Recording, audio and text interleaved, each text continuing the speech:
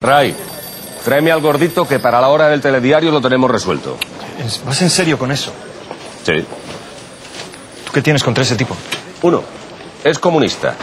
Dos, es el representante sindical. Salgado le boicoteaba todas las huelgas. Y tres, y lo más importante, fue el primero en hablar.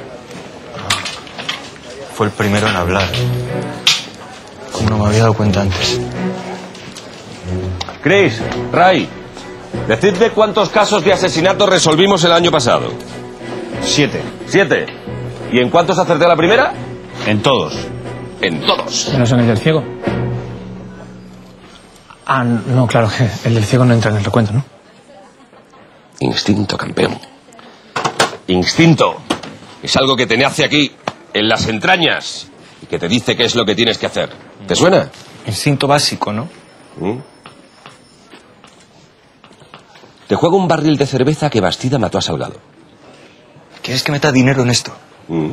¿Tú qué te crees que es esto, la primitiva? ¿Qué, la primitiva, Ray? La Primi, coño, una furcia. ¿No te acuerdas que la cogimos el mes pasado? A la Primi y unas cuantas lumis más. Oye, os queréis callar. Estamos hablando de la muerte de un hombre. Y de la libertad de otro. Un barril de cerveza y mil pesetas. No voy a entrar en tu juego.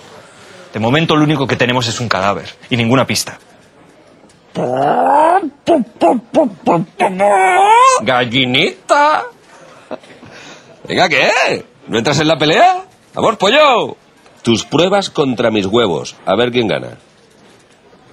No hubo pelea. Qué pena. ¿eh? Con lo bien que me iba a sentar esa cerveza gratis. No hubo pelea. ¿No te has dado cuenta? Si hubiera habido pelea, habría sangre hasta en el techo, pero no. Entonces, ¿qué pasa? Salgado vio llegar a su agresor y simplemente dejó que lo mataran. ¿No te parece raro? Si Bastida y él se llevaban tan mal, ¿no se habría resistido? ¿Eso qué quiere decir? ¿Que entras o que no entras en la apuesta? Veo el barril de cerveza, tus mil pesetas y mil pesetas más.